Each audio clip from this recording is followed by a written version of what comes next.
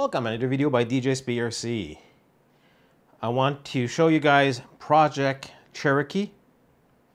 It's the uh, Axial SCX10 2 2000 Jeep Cherokee uh, 110 scale electric all-wheel drive kit that I'm doing a complete build series on it. This is going to be the step one of the build.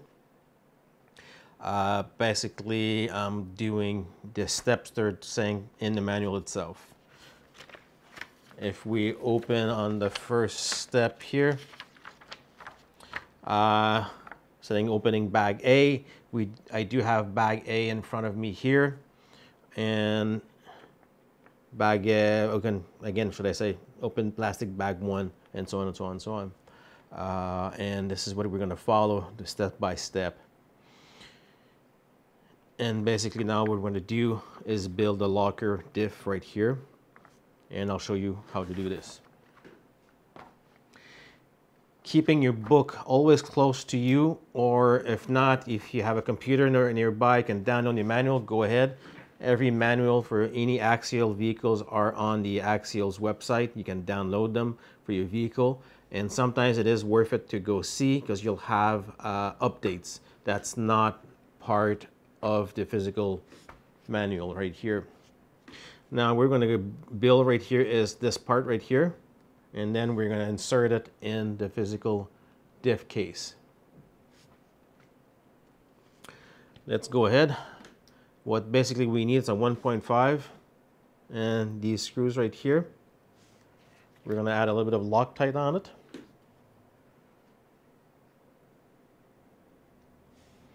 Just enough to be able, when it goes in the metal,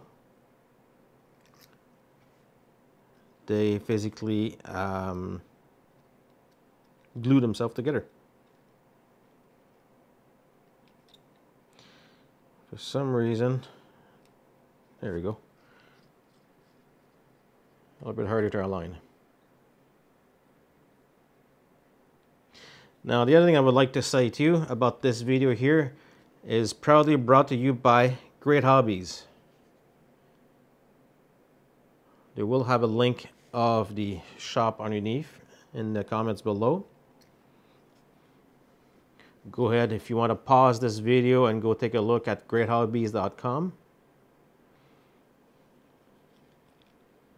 Very gracious for me to be able to do this for them.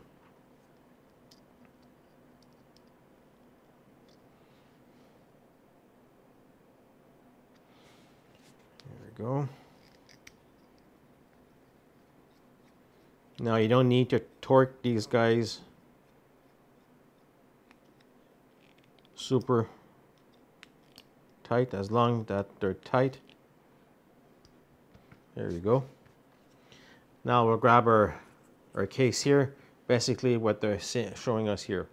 Now we need two different sizes of bearings for the case and two different size. Now these are the two same size right here for the physical locker itself. Pop one on one side and the one on the other side. In the case itself, you'll have the 31407.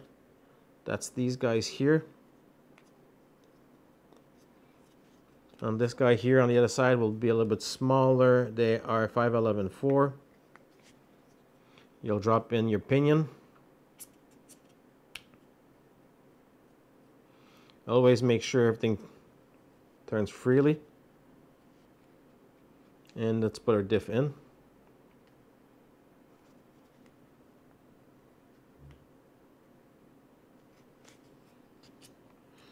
And for some reason, uh, I know why.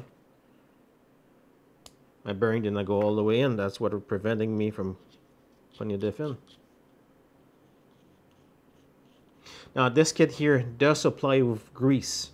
They do say to put a little bit of grease here on the ring pin, but personally that's not what I use.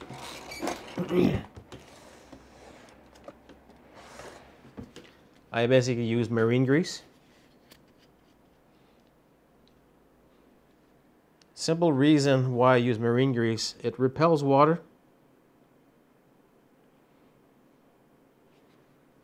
And it works awesomely great. And basically what I'm going to do turn it a bit. You don't need to fill the case completely. And we'll grab our cap.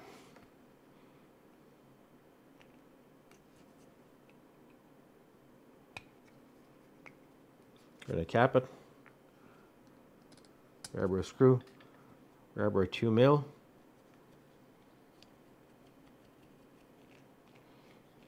They are, they are, wow. They're hard to start. There you go. If you do decide to use a drill on this, basically just make sure to use the physical clutch. Meaning on your drill here. Put it maybe in one of the lowest setting and you'll see if it starts stripping. When I say by stripping,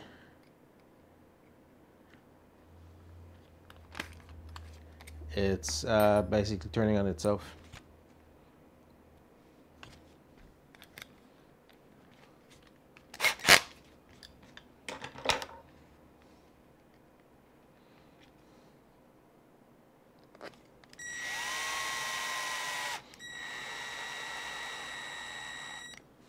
And this is too too high.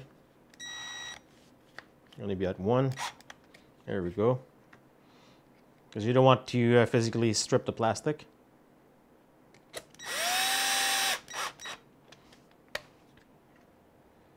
And do the last one here.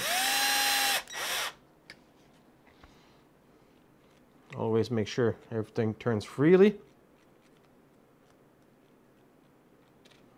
It does. This is physically part one done. We'll come back for another video to be able to do part two. You do have another one to do, your front and rear. It's just repeating the same steps. I'm not gonna bore you guys again for doing the same steps you did in front. Basically, you rebuild your locker, pop your bearings on each side,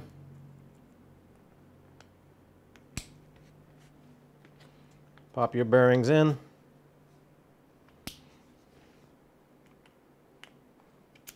Pop your ring gear.